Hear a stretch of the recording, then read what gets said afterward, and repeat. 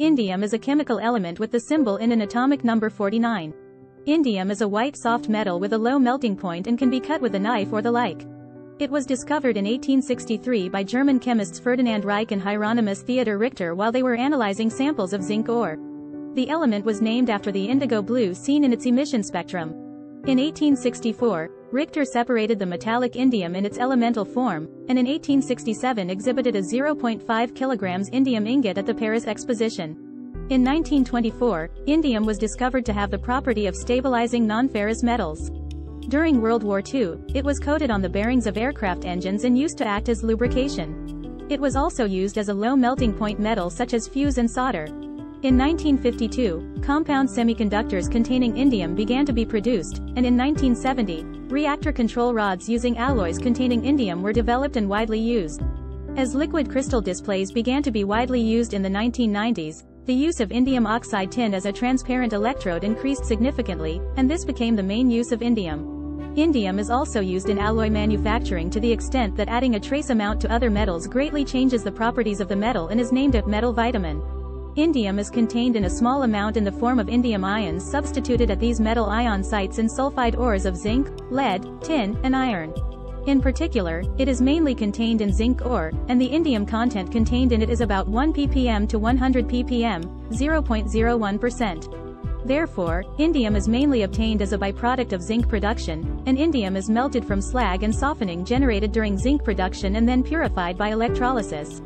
According to USGS data, the global production of primary indium, indium obtained directly from ores, not recovered and regenerated, in 2011 is estimated to be 640 tons, mainly produced in China, 340 tons, Korea, 100 tons, Japan, 70 tons, and Canada, 65 tons. The global annual requirement is estimated to be more than 1,800 tons, including primary indium and secondary, renewable indium.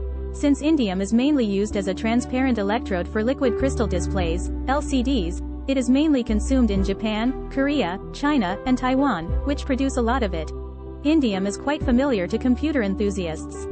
The soldering of the CPU is using indium. Since it melts at a much lower temperature than lead and has a very high thermal conductivity, it is used because it can increase heat dissipation and protect the core through heat spread while minimizing damage to the CPU. Indium is actually the only material that can weld a silicon chip to a heat spreader.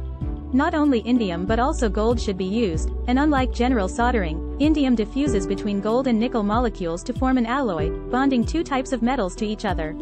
However, since Intel's Ivy Bridge in 2012, Intel has replaced all CPUs with thermal grease except for Xeon E5 and higher products and head products until the 8th generation of the Core i series. As a result, renovations become prevalent.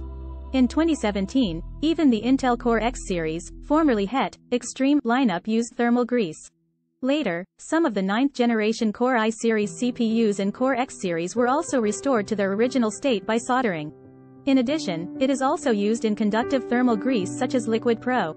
Thermal grease made of an alloy such as indium, which is used for heat transfer between such high-performance computer chips and heat sinks, is also called liquid metal. Pure indium metal is known to be non-toxic. Unlike cadmium, it rarely accumulates in the body. On the other hand, indium, 3, compounds are toxic and are known to damage the kidneys, heart, and liver, especially in Cl3 anhydride is relatively toxic, and INP is a toxic carcinogen. Unusual, these substances are toxic when injected into the skin, while those that enter the mouth have a low absorption rate and are rarely toxic. In summary, indium unique physical properties, such as its high conductivity and low melting point, make it a valuable resource in a variety of industries, including electronics, semiconductors, and solar panel manufacturing.